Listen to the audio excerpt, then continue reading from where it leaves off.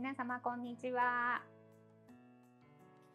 シネマート心斎橋の横田陽子です。お元気ですか？お家でシネマート見ていただいてますでしょうか？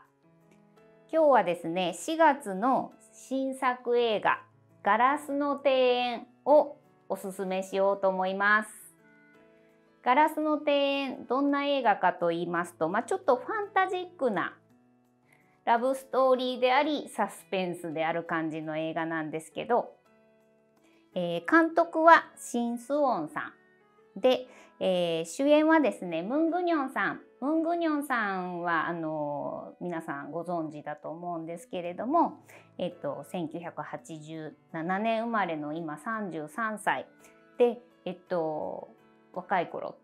ねシネマートがオープンした頃は、えー、国民の妹と韓国で呼ばれているほどあのすごく人気があった女優さんでその頃すごい清純派な感じの女優さんだったんですけど、まあ、33歳になられてすごい大人っぽい魅力も兼ね備えてきたなっていうイメージです。えっと、シネマートで上映したムン・グニョンさんの映画は「ダンサーの純情」これは皆さんね非常に思い出深い私も含めあの映画だと思います。もうハンカチがぐしょぐしょになるぐらい泣いてしまった人も多いかと思いますけど「ダンサーの純情や」えー、愛なんていらない」あと「王の定め」ですねなどに出演されてた方ですごいあのちっちゃくて可愛いっていうイメージだったんですけどさっきちょっと調べてみたら166センチぐらいあるらしくって 全然私より大きかったって思って びっくりしました。すごくなんかこう童顔であのコロコロって笑う感じの可愛い女優さんです。でそのムングニョンさんが主演の映画になるんですけど、まあ、どんなあらすじかっていうとその主人公のムングニョンさんが演じるジェヨンは、えっと、研究室で研究してる女性なんですけどあのちょっと足が足にハンデがある女性で、えっと、植物のについての研究をしてるんですね。で彼女は昔その森に住んでいてあの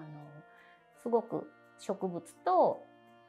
が溢れてる環境で育ってきたので、えっと、木と対話できる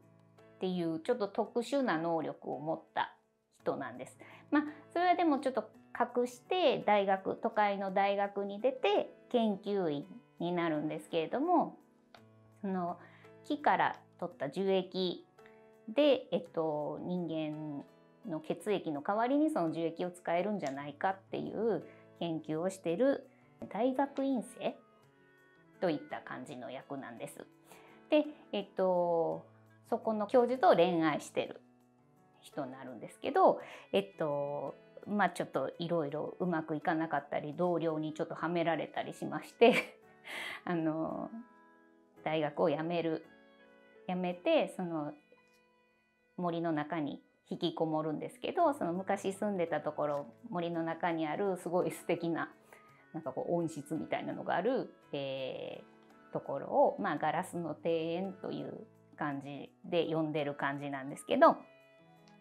そこにですねある日恋愛小説家のジフンという男性がですねあの、まあ、偶然その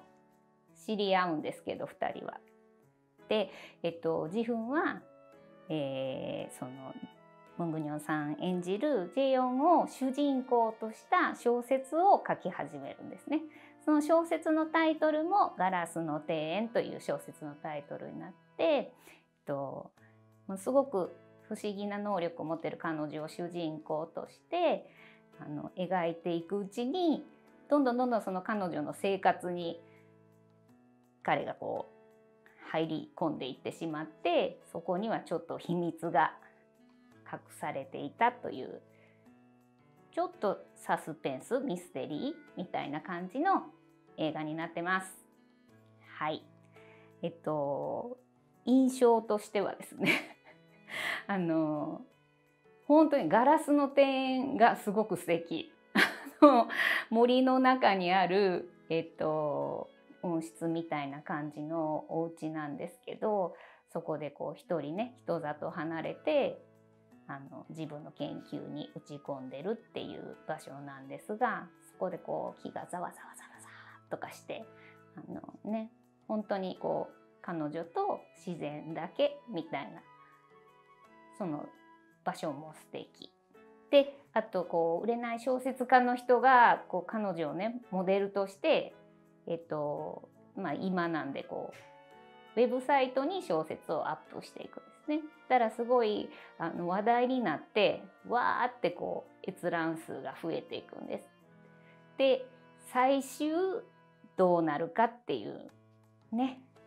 そこがちょっと見どころとなっておりますのでぜひぜひ皆様見てみてください。えー、かつてねムングニョンさんのファンだった人も あの成長ぶりをぜひぜひ確認していただきたいと思います。今もすごく可愛いあのリスみたいです。はい。でこちらの映画が、えっと、4月の新作でおうちでシネマートで見れます。えっと1200円でご覧いただけます。劇場公開はしていないこちらで初めて公開する映画となりますのでぜひぜひ皆様この機会にガラスの庭園見てみてください。よろしくお願いします。皆様こんにちは。今日はおうちでシネマートの視聴方法についてご説明します。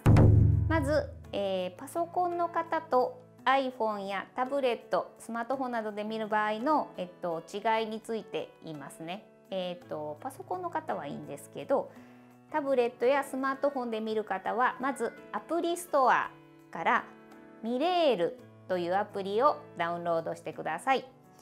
ミレール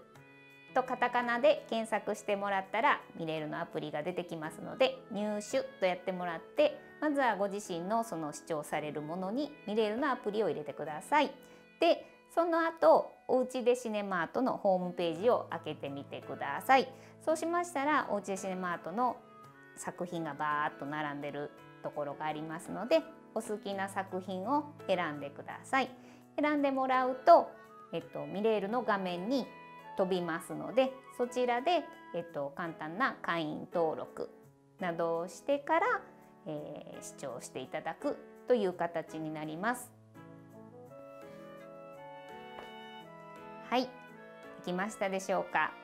まずはスマートフォン、タブレットの方はアプリストアでミレールを入れてからその後はパソコンの方も一緒ですがおうちでシネマートのページからお好きな映画を選んでいただいてで選んでいただくとミレールにまた飛びますのでそちらの方で会員登録をしてからお支払いの方法など入れてもらってからご視聴いただく形となります。わからないことがあればおうちでシネマートの Twitter の方にご質問ください。